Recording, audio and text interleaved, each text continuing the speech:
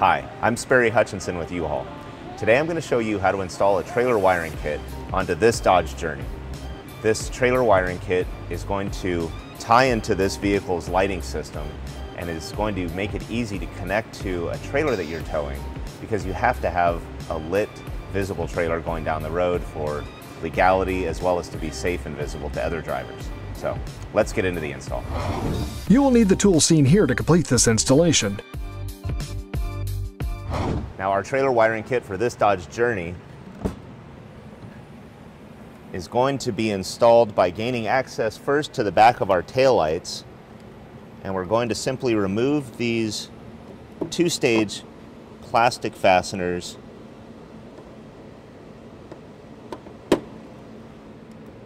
first prying that center up and then I'm going to use a small pry tool to remove the fasteners altogether. And then we're going to simply pull straight back and that will pop our tail light, these two fasteners out from the body and that'll give us access to the plugs that we need. Okay, the dedicated kit we have here provides a converter box with a number of leads coming out. And these leads are primarily first we're going to connect to our the back of our tail light on our driver's side or left side. That's what the yellow wires. Yellow has L, it's telling us it's going on the left side, as well as our turn signal and uh, stop and tail light connections that will splice in here to the factory harness. We also have a green wire that we see has a good length to it. That's going to allow us to come across the other side of the vehicle and connect over to the right side. Green, having an R in it, tells us it's going on the right side turn signal. We also have a dedicated ground and a power wire. Since we're not taking power from our vehicle's lighting circuit, we're actually providing power to our trailer lighting, that's our, our four-way flat connection, through a dedicated source, so it doesn't add any significant draw to that circuit on our vehicle. So let's get into our connections. Okay, now most of our harness and wiring is actually going to go down through this access hole behind the rear fascia on our vehicle. So I'm going to go ahead and feed, again, the majority of this wiring, except for our connections we're going to make on the back of our driver's or left side tail light down through here. And that's going to include our converter box. So, and then we want to go ahead and again identifying both the three wire brown, white, and red, as well as our two wire yellow and white connectors. We're going to connect those to the back of our tail light by disconnecting the factory clips and plugs.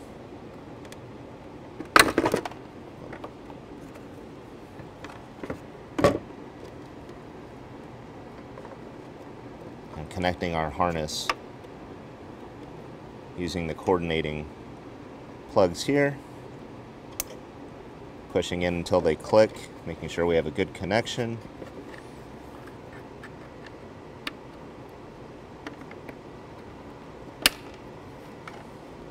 We'll do the same with this lower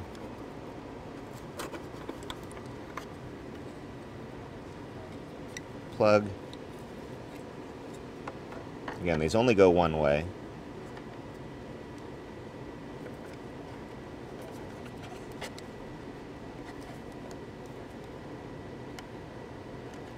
Okay. That one didn't make such a loud click, but it is in fact all the way together. And making our final connection here on the back of our tail light.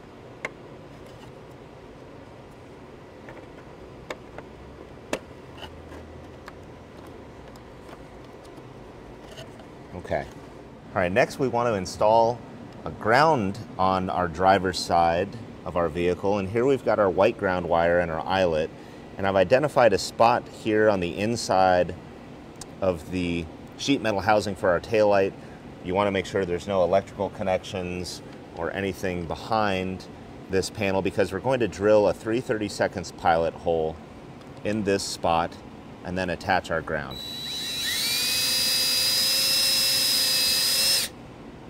Let's walk.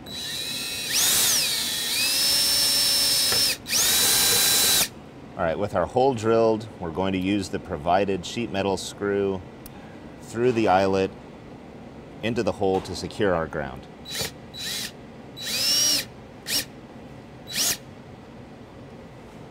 Still working here on the driver's side of the vehicle. We're going to connect our power lead to the provided length of black wire in the kit because that's just going to be a whole lot easier to drop down behind the fascia and run up front before we have all of this to do beneath the vehicle. So we'll begin by stripping a short length of wire from our black lead here.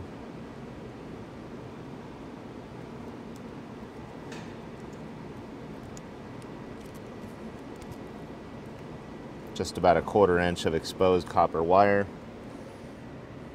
We'll go ahead and crimp one of the provided yellow butt connectors. Again, make sure our wire is in the ferrule, the metal that's within our plastic tubing.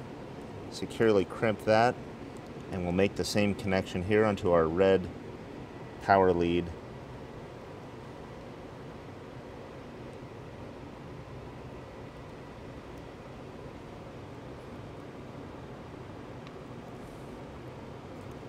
Sure we've got a good connection there. And we'll go ahead and run that black wire down behind the rear fascia.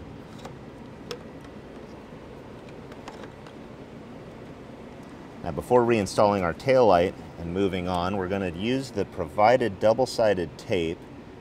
And I'm going to put this on the back of our converter box. And we'll go ahead and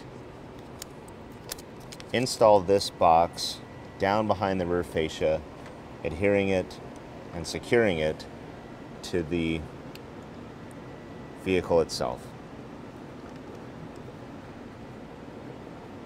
All right, with all of our connections made on our driver's side, we can turn our attention to the passenger side and we want to begin by removing our tail light. Again, popping these two-stage fasteners and then removing the tail light itself.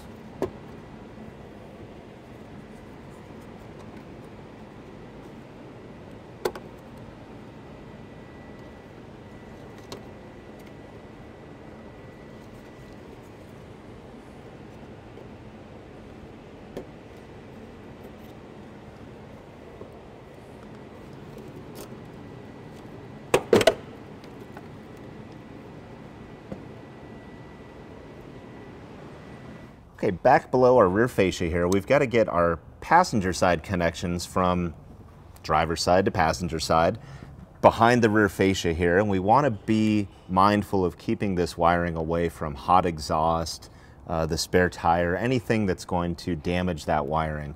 And on this vehicle, the best option is to take this wiring through this square rear crossmember tube.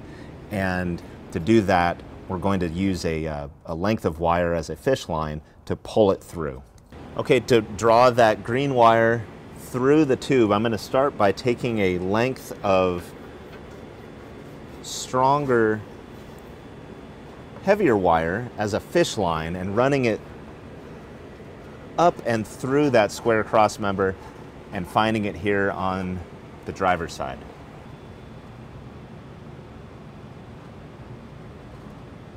Because these plugs are kind of bulky, I'm going to start by actually taping them together and then connecting them jointly to my fish line.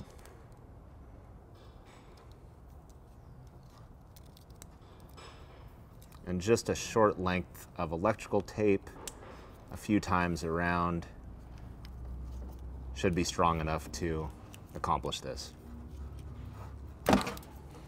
I'm gonna start by feeding these plugs through on this driver's side just to make sure that they get started in a good manner.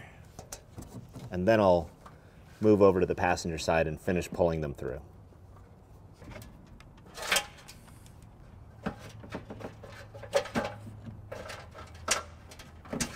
All right, now I've got my wires pulled through that cross member. I wanna go back over to the driver's side before I proceed to run that passenger side harness up to the taillight. I just want to make sure that this green wire isn't contacting anything sharp, that it's got a little bit of slack in it, it's not pulled too tight, and it won't be damaged in the years to come.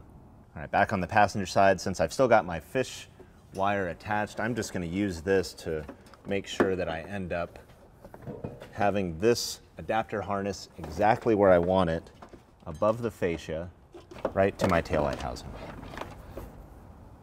Now I can disconnect the tape. Okay, now we remove our turn signal connection and use our quick connect harness to make our connections to the taillight and our factory wiring.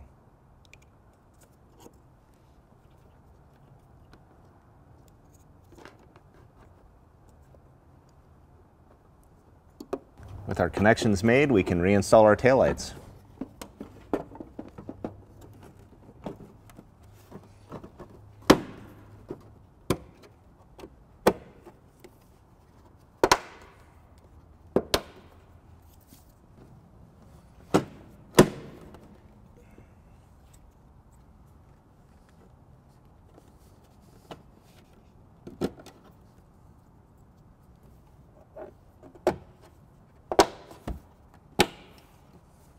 All right, now we're ready to run our power lead, this black wire we made a, the connection to earlier, beneath our vehicle up front. It has to go to the battery. Now, I've already gone up front and identified that the battery is on the driver's side on this Dodge Journey. And what we want to do is take care, take your time to route this wire so that it doesn't come into contact with hot exhaust system components, any sort of drivetrain or suspension components that are moving as the car goes down the road because that's going to damage the wire, it's going to pull it loose, it's going to create an unsafe condition. So here we want to take some time. Uh, in general, you can use the factory's installation of fuel lines and brake lines to identify a safe path because they've already done that work to find a good routing for those systems away from exhaust and driveline components. So let's get under our Dodge Journey and take a look where we want to route this wire. On our Dodge Journey, we have our muffler and our suspension in very close proximity to where our power wire is coming down behind the rear fascia. But we have a hollow subframe rail that has a hole in it and I'm going to run a fish wire through that hole that is going to take us up and safely around all of this heat and suspension movement.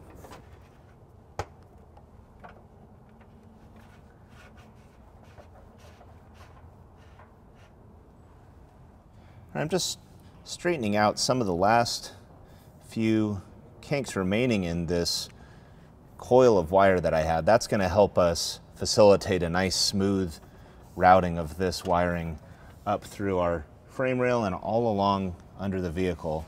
And now I'm ready to join this wiring to my fish tape.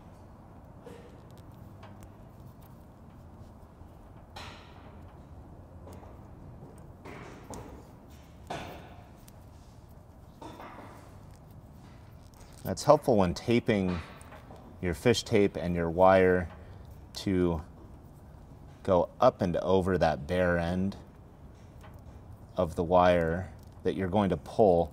That's going to help also make for a nice smooth transfer as it passes through that frame. Now we can go back under the vehicle and pull it through. Okay, as I pull this wire, I want to keep an eye on how much I've got remaining at the back of the vehicle. Once I feel that it's pulled through, I'll just double check that we're good back at the rear portion of our harness. All right, now where I've got this power lead coming down from the rear fascia, I want to zip tie it up to keep it away from the muffler and so that it's not pulled so tight against that sheet metal edge. I'm going to use a zip tie behind this bumper bracket. to help right, route this wire safely.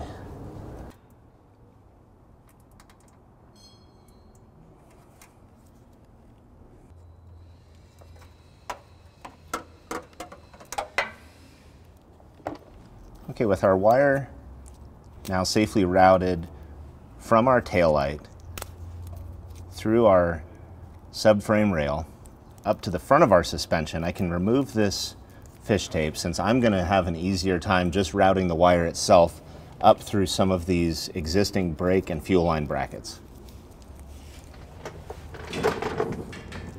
Okay, first I'm going to use this existing emergency brake cable bracket to help me get my wire established under the vehicle.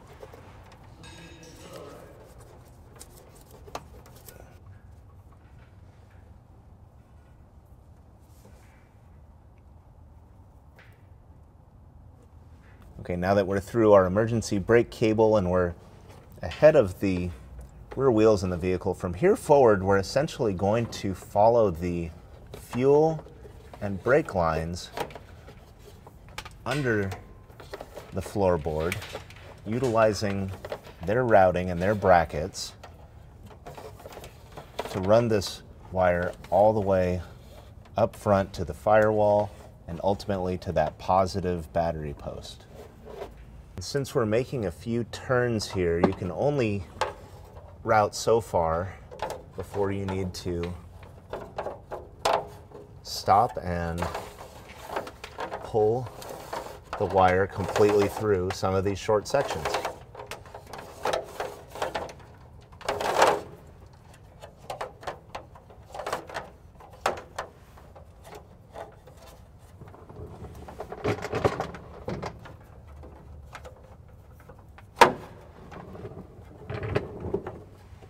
And wherever possible, use these existing brackets to support the routing of your wire. So here I'm running the wire through an existing cavity on this fuel and brake line isolating block, this mounting block, and this is going to support the wire.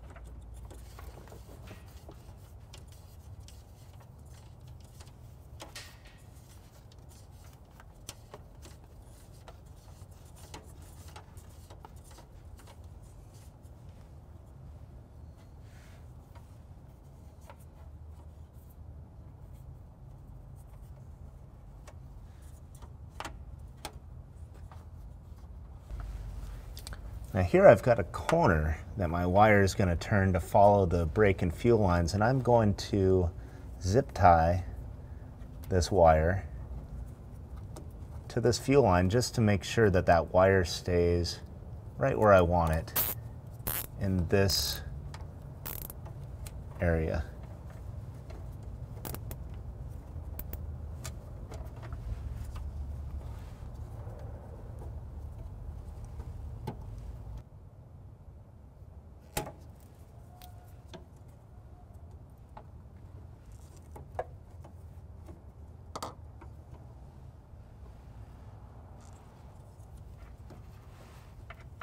And now that I've got my lead all the way up to the firewall, and in this last existing line clamp on the uh, front subframe rail, I'm going to go up top and drop a fish line down from where I want the wire to appear next to my positive terminal. Okay, I've got my fish line and my lead.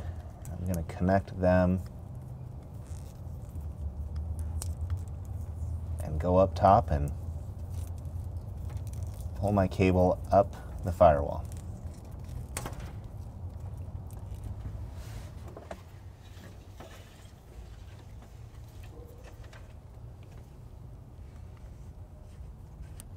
All right, with our wire now routed along some of these existing cables It's clean, it's out of the way.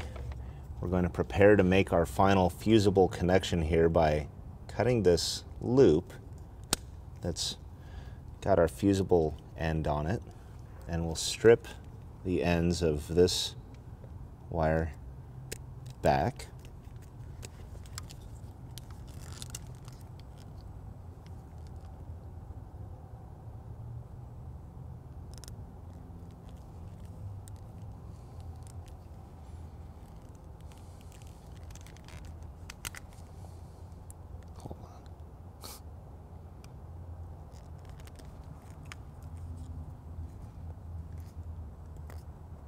Twist the copper cable ends.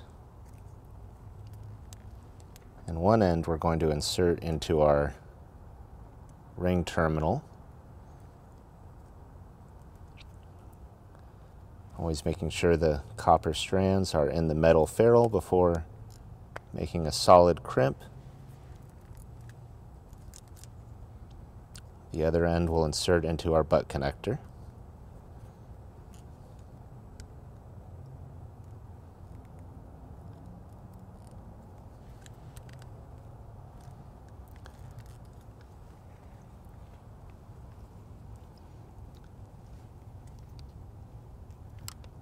And then we want to plan smartly about how to route our wiring here. We're going to make our positive connection to this post. The vehicle's battery is mounted down and out of the way, but we have this positive terminal here.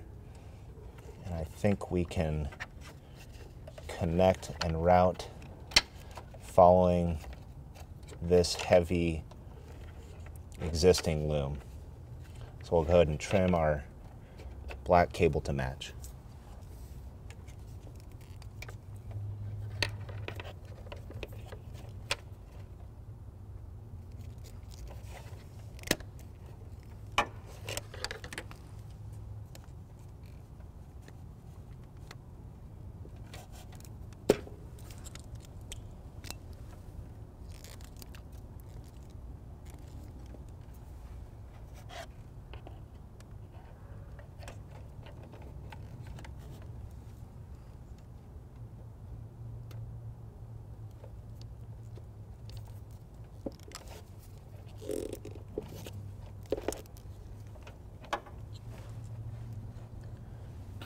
Okay, with our final crimp connection made, we'll route our harness down out of the way.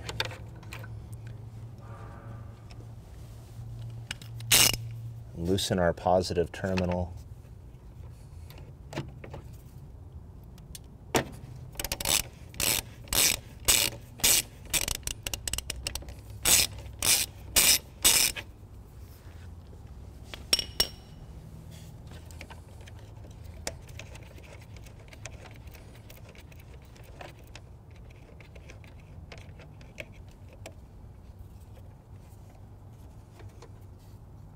go ahead and install our, our ring terminal here. Reinstall the nut on the post.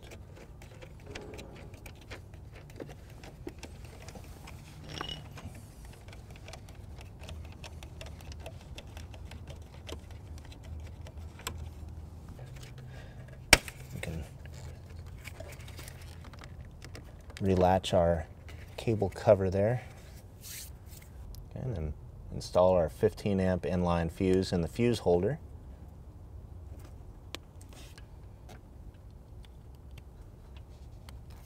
Install the cover and we'll tuck our wiring so it's nice and neat. Okay, with all of our wiring connections now made, all that's left is our four-way flat lead that's going to connect our vehicle to our trailer or the lighting system on our uh, cargo carriers or hitch accessory. And as opposed to just having this lead hanging uh, or zip tying it off somewhere, it, spend a little extra and you get a bracket because the hitch manufacturers have included this tab and this allows you to mount a, a modular uh, sort of bracket that we've got here to secure our four-way flat to. and the hardware comes with it. Two screws and two nuts is all it takes to have a clean and secure installation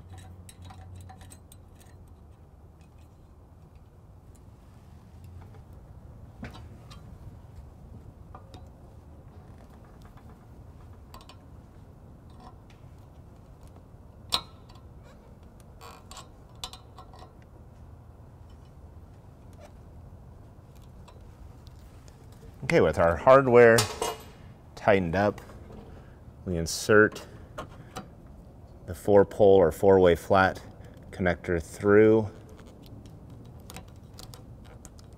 until those rubber bosses catch on that tab that's on top and below of our punch slot there. We're simply going to install this cover to keep our connectors clean and dry and we have a clean final installation of our trailer wiring harness on our Dodge Journey. Thanks for watching. To learn more about the product seen in this video, or to schedule an installation by U-Haul Hitch Professional, visit us online today at uhaulhitches.com.